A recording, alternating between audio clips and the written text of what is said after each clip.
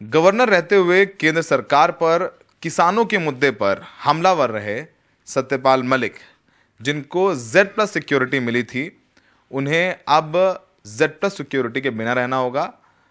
गृह मंत्रालय ने जेड प्लस सिक्योरिटी का कवर सत्यपाल मलिक से वापस ले लिया है। आपको बताएँ सत्यपाल मलिक कश्मीर के गवर्नर थे और कश्मीर के गवर्नर को जेड प्लस सिक्योरिटी मिलती है एक तय समय सीमा के लिए।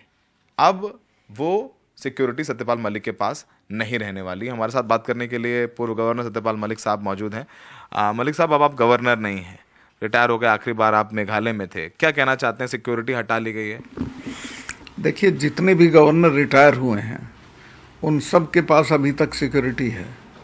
मेरी सिक्योरिटी ऑलमोस्ट पूरी तरह हटा ली गई है। जो एक्स क्लास भी दी गई है उसमें एक पीएसओ होगा। वो भी मेरा तीन दिन से नहीं आ रहा है। तो मैं क्या समझूं कि सरकार चाहती है कि जबकि मुझे बहुत रिस्क है। रिस्क इसलिए है कि जब 370 हटी तब मैं वहाँ था।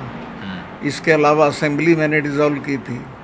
और मुझे वहाँ जनरल्स ने बताया था कि आपको पाकिस्तान से भी खतरा है यहाँ के टेररिस्ट से भी खतरा है।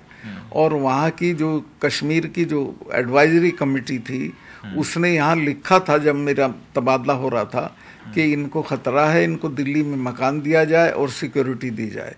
अब वो सब खत्म कर दी गई है। अब मैं क्या समझूं? अच्छा। सिक्योरिटी खत्म कर दी गई है। आपने क्या लिखा था अमित शाह जी को इस बारे में? अमित शाह जी को दो बार लिखा। हाँ। और दोनों बार मैंने लिखा कि मुझे threat is very very real और इसलिए मेरी सिक्योरिटी डाउनग्रेड ना की जाए। हम्म। ये जो लेटर्स भी आप हाँ मैं आपको दिखा रहा हूँ दोनों हाँ, की पावती उनकी तरफ़ से आई हुई है। हाँ ये लेटर्स हैं जो ये है। और ये रिसीविंग भी है अमित शाह जी की तरफ़ से कि। I have received your letter dated first October regarding your security तो अब आपका कवर हट गया। आपके पास कब से नहीं आ रहे हैं जो सिक्योरिटी आपके पी से सिक्योरिटी गार्ड से? होली के बाद से कोई नहीं आ रहा है।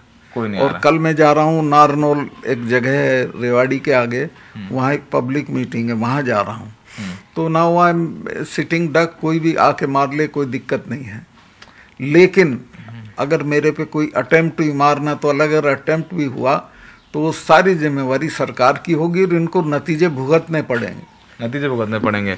अब आप आगे करेंगे कि आप कैसे रहेंगे? आप चूँकि राजनीति में हैं, इसको आप कैसे देखते हैं? आपके साथ ऐसा क्यों किया गया? जब अगर वोरा साहब के पास सिक्योरिटी है, मुर्मू साहब के पास सिक्योरिटी है, वैद्य साहब के साथ सिक्योरिटी है सब एलजी रहे हैं तो उनके पास सिक्योरिटी है तो आपके पास सिक्योरिटी क्यों नहीं? है मेरे पास इसलिए नहीं कि मैं किसानों के मसले पर ये तो अल्लाह मियाँ है, ये सोचते हैं कि हमारे खिलाफ कोई नहीं बोलेगा। मैं इनके खिलाफ नहीं बोला था, किसानों के पक्ष में बोला था, जो इनको पसंद नहीं आया, सिर्फ़ उसी उसी वजह से सिक्योरिटी हटाई है कि अच्छा ये बोल रहा है हम्म।